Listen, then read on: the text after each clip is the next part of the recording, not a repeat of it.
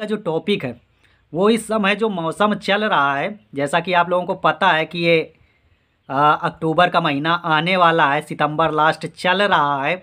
और इस समय बीमारियाँ कौन कौन सी आती हैं? क्योंकि हम लोग एक ग्रुप चला रहे हैं ग्रुप में हमें अक्सर पता चलता रहता है कि किसान भाइयों के पास इस समय कौन कौन सी समस्याएँ आ रही हैं। उन समस्याओं का कैसे हल किया जाए? आपके बारे में वो समस्याएँ ना आएँ। और ये एक मौसमी जैसे ही मौसम में परिवर्तन होता है, इस तरह की बीमारियाँ देखने को मिलती हैं। तो इन बीमारियाँ आपके फार्म पे ना आए। बीमारियाँ क्यों आ रही हैं? यदि आ गई हैं तो उनका इलाज क्या होगा? ये सारी चीज़ें आज के वीडियो में डिटेल से आपको जानकारी मिलेगी। प्लस, एक चीज़ इसमें और आपको नया देखने को मिलेगा कि जिन भाइयों के पास ये बीमारियाँ आई हुई हैं, उनको इलाज बताया गया है। इलाज के थ्रू उनका फीडबैक भी लिया गया है। कि नहीं एक्चुअल उनको लाभ मिलता है कि नहीं? ये सारी चीज़। और ये जो मैसेज है सारी चीज़ ग्रुप का है तो आप लोग इसको देख लीजिएगा। इससे ये होता है कि नहीं, थोड़ा ना थोड़ा कॉन्फिडेंस बढ़ता है। कि नहीं, जो बिमल भाई ने बताया है, उसका रिज़ल्ट मिलता है। यदि मेरे द्वारा कोई भी चीज़ें बताई जाती हैं, और आप एक्चुअल तरीके से वैसा कर लेते हैं, देखो बकरी पालन में होता क्या है? सबसे बड़े बकरी के डॉक्टर आप होते हैं।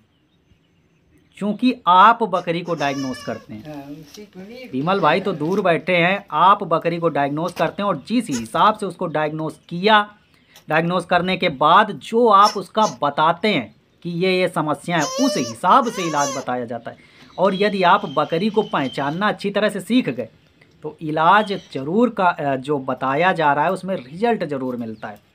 यही आज का फीडबैक भी आपको देखने को मिलेगा, जैसा मैंने आपको बताया।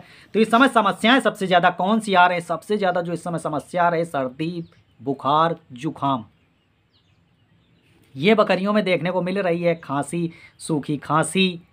सुबह आप देखेंगे तो बकरियों की नाक जो है गीली मिलेगी, बकरी आपकी खांसेगी।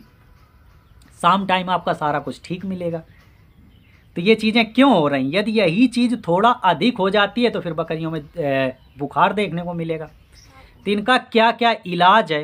कैसे ये हमारे फार्म पे ना आए? इस पर आज मैं चर्चा कर लेता हूँ। तो देखिए, सबसे पहली चीज़, आपको बकरी को दिन में धूप में नहीं बांधना है।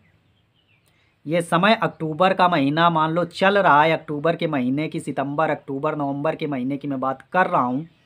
चूँकि वीडियो जो है बाद में भी देखा जाएगा तो लोग कहेंगे कि यार इस समय तो ये बीमारी आई नहीं रही है, आप जो बता रहे हो। तो इसलिए जो वीडियो शूट हो रहा है, ये अक्टूबर, नवंबर में शूट हो रहा है, और इस समय ये बीमारियाँ अक्सर बहुत ज़्यादा देखने को मिलती हैं। बहुत सारे किसानों की ये क्वेरी आ भी रही है।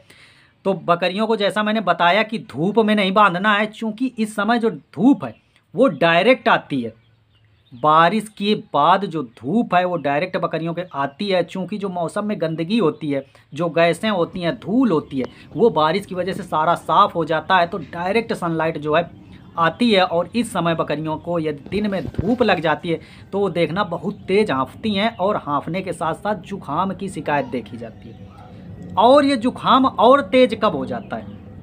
वही बकरी जब रात में मौसम सर्द होता है हल्की हल्की सी ठंडी होती है, ओस काफ़ी मात्रा में गिरती है और बकरी आप बाड़े से बाहर बांधते हैं।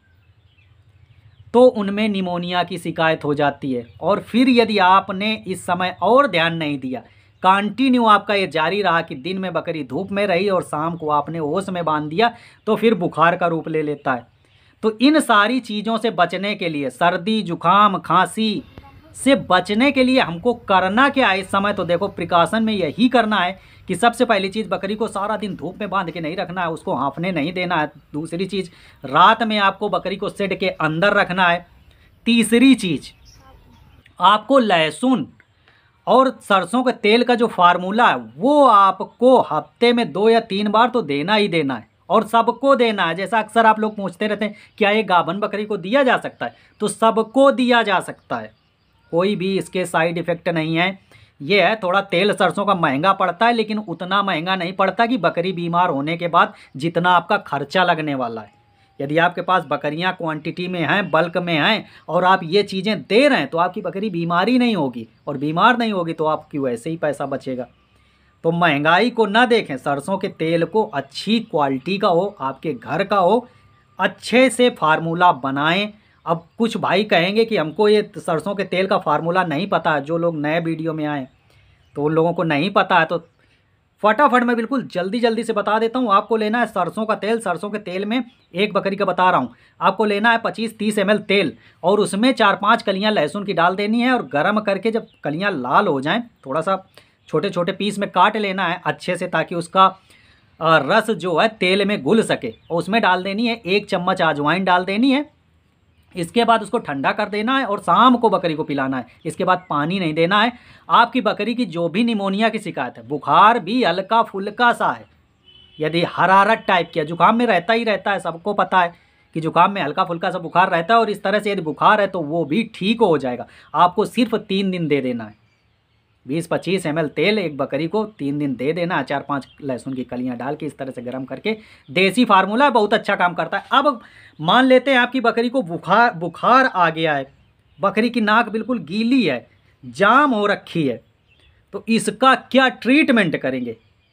इस ट्रीटमेंट को देखिए, चूँकि मैं एक डॉक्टर नहीं हूँ, इसलिए सारी चीज़ें मैं इसमें वीडियो में पूरा डिटेल से नहीं बता रहा हूँ। आप व्हाट्सएप पर मुझे मैसेज कर सकते हैं या ग्रुप में जुड़ सकते हैं। सारी जानकारी आपको मिल जाएगी और मैं आगे वीडियो देखिए लगा देता हूँ। जिन जिन भाइयों को लाभ हुआ है, उन्होंने ये चीज़ें अपनाई हैं, उनको लाभ हुआ है और उन्होंने अपने पैसे बचाए हैं। तो यदि आप लोगों को एक अच्छी सलाह कोई बंदा फ्री में आपको प्रोवाइड करा रहा है तो उसका लाभ लीजिए और बकरी पालन में सफलतापूर्वक काम कीजिए। हमें बस आप अपनी दुआएँ देते रहिए और चैनल में यदि पहली बार आए तो चैनल को सब्सक्राइब करते रहिएगा और वीडियो को लाइक कर दीजिएगा, शेयर कर दीजिएगा ताकि अन्य जगहों पर पहुँच सके। वीडियो काफ़ी लंबा हो रहा है चूँकि मुझे इसमें एक वीडियो और भी ऐड करना है, जो लोगों की क्वेरी आई थी और उनको लाभ मिला हुआ है। तो दोस्तों, चलता हूँ फिर, मिलता हूँ अगले वीडियो में, तब तक के लिए bye bye have good day, thank you, लेकिन ये वीडियो देख के जाना जो मैं लास्ट में लगा रहा हूँ। भाई, ये मेरा बकरा है, जो सुबह बुखार था, इसको 105 डिग्री था। इसको मैंने मेलोनेक्स प्लस और डाइक्रिस्टासिनेस दिया था। और अभी जब शाम में चेक करूँ तो भी जो है 104.5 आ रहा है। इसका बुखार जा नहीं रहा है तो इसके लिए कुछ उपाय। इसका कोई इलाज बताए भाई बहुत परेशान इसका क्या करना समझ में नहीं आ रहा है। मदद कीजिए।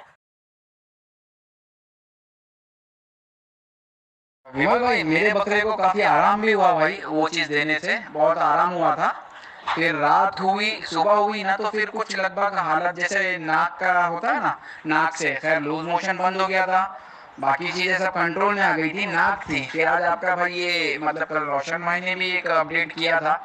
कल या आज और वो रविंद्र भाई थे कि सरसों का तेल लेना है लहसन को थोड़ा जलाना है लहसन अजवैन और बाद में आधा चम्मच हल्दी ऐसा कुछ।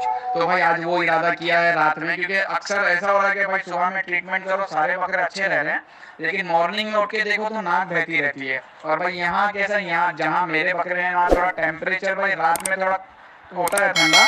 खैर, मैंने पैक किया है, फिर भी ये थोड़ी एक शिकायत है। तो ये जो आज, इससे पहले सरसों का तेल दे रहा था भाई उसमें मेरी गलती ये थी कि लहसन जो है हम लोगों ने एकदम जला ही नहीं थे।